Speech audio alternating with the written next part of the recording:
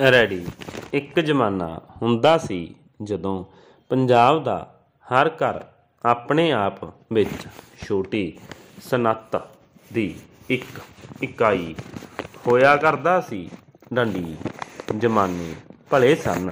ਡੰਡੀ ਲੋਕ ਘਰ ਦਾ ਤਿਆਰ ਖਾਣਾ ਖਾਂਦੇ ਅਤੇ ਘਰ ਦੇ ਹੀ ਤਿਆਰ ਕੀਤੇ ਖੱਦਰ ਦੇ ਕੱਪੜੇ ਪਹਿਨਿਆ ਕਰਦੇ ਸਨ।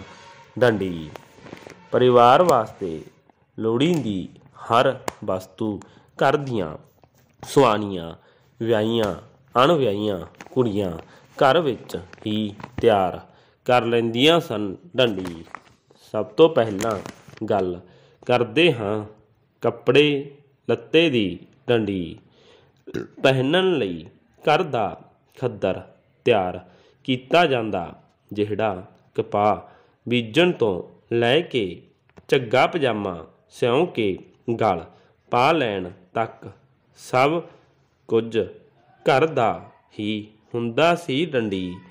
ਖੇਤਾਂ ਵਿੱਚ ਦਾਣੇ ਫੱਕੇ ਦੀਆਂ ਪੰਡਾਂ ਬੰਨਣ ਲਈ ਲੰਮੇ ਚੌੜੇ ਆਕਾਰ ਦੇ ਦੋੜੇ ਘਰ ਤਿਆਰ ਕੀਤੇ ਜਾਂਦੇ ਸਨ। ਡੰਡੀ ਮੰਜੇ ਉੱਪਰ ਵਿਛਾਉਣ ਲਈ ਦਰੀਆਂ, ਕੁੜੀਆਂ, ਕਤਰੀਆਂ ਘਰੇ ਹੀ ਬੁਣ ਕੇ ਤਿਆਰ ਕਰ ਲੈਂਦੀਆਂ ਸਨ ਡੰਡੀ। ਦਰੀ ਮੰਜੇ ਉੱਤੇ ਵਿਛਾਈ ਹੋਈ ਸੋਹਣੀ ਲੱਗੇ।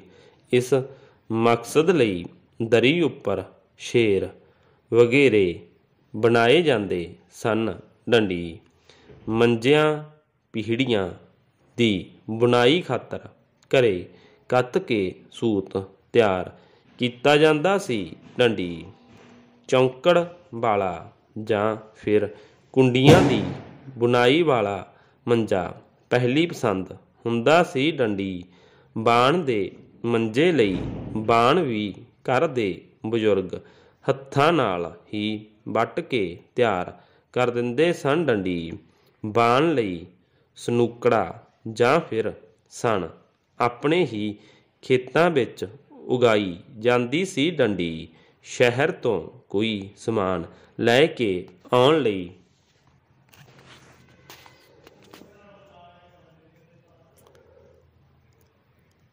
ਰੈਡੀ।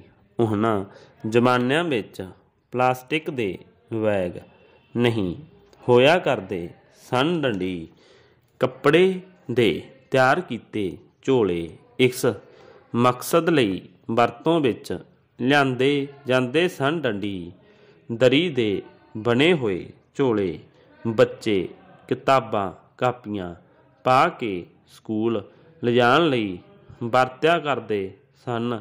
ਡੰਡੀ, ਸਰਦੀ ਦੀ ਰੁੱਤੇ ਪਸ਼ੂਆਂ ਨੂੰ ਠੰਡ ਤੋਂ ਬਚਾਉਣ ਲਈ ਝੁੱਲ ਵੀ ਘਰੇ ਹੀ ਤਿਆਰ ਕਰ ਲਏ ਜਾਂਦੇ ਸਨ। ਡੰਡੀ, ਅਨਾਜ, ਗੁੜ, ਆਟਾ ਵਗੈਰਾ ਦੀ ਸਾਂਭ ਸੰਭਾਲ ਲਈ ਪੜੋਲੇ, ਮੱਟੀਆਂ, ਕੋਠੀਆਂ ਘਰ ਦੇ ਅੰਦਰ ਹੀ ਬਣਾ ਲਈਆਂ ਜਾਂਦੀਆਂ ਸਨ ਡੰਡੀ।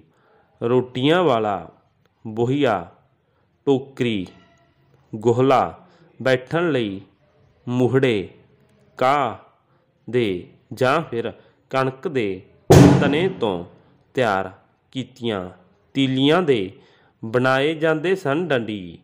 ਕੁੜੀਆਂ ਨੂੰ ਵਿਆਹ ਵੇਲੇ ਦਿੱਤਾ ਜਾਣ ਵਾਲਾ ਸਮਾਨ ਦਾਜ ਨਹੀਂ ਕਹਿਲਾਉਂਦਾ ਸੀ ਸਗੋਂ ਘਰੇ ਵਰਤਣ ਵਾਲੀ ਲਗਭਗ ਹਰ ਵਸਤੂ ਹਰ ਪਰਿਵਾਰ ਆਪਣੀ ਸਮਰੱਥਾ ਅਨੁਸਾਰ ਦਿੰਦਾ ਸੀ ਡੰਡੀ।